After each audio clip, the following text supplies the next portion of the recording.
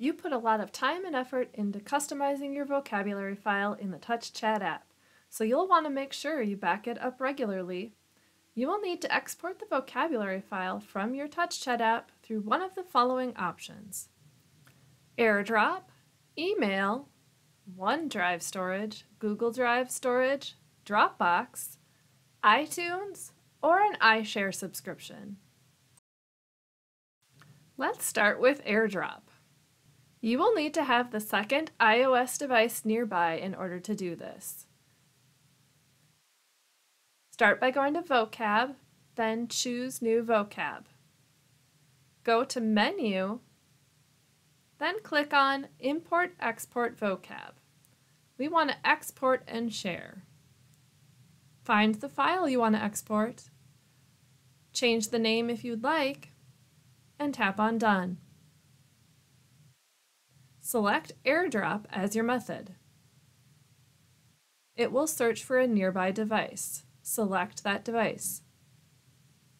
On your second device, you will need to accept this AirDrop. It will ask where you want to import it in. Select TouchChat. It will ask if you want to import this into your TouchChat app. Say yes.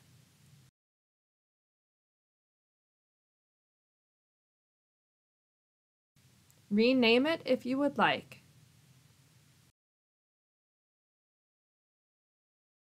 Then tap on Save. Your file is now available on the second device. Tap on Done to finish the export. Now let's look at exporting by email. You will need to have an email account set up on your device in order to export the file from TouchChat. Go to Vocab, then choose New Vocab. Go to Menu, then click on Import Export Vocab. We want to export and share. Find the file that you want to export. Change the name if you would like, then tap on Done. Select the email icon. Enter the email address you want to send the file to.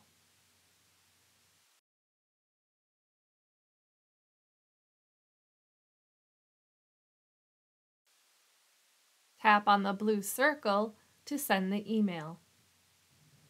You can also export vocabulary files to several cloud-based storage sites, including OneDrive, Google Drive, and Dropbox. Go to Vocab, then choose New Vocab. Go to Menu, then click on Import Export Vocab. We want to export and share. Find the file that you want to export, then tap on Done. Swipe over to find the icon for the storage app you want to use. Select it. You can select a folder in the drive and then select Upload. Your export is complete. You can export vocabulary files using iTunes file sharing on a PC computer. Export the vocabulary file from TouchChat by going to Vocab, then choose New Vocab. Go to Menu, then click on Import Export Vocab. Select Export to iTunes. Find the file that you want to export, change the name if you would like, then tap on Save. Now connect your iPad to your PC computer with iTunes using a USB cable.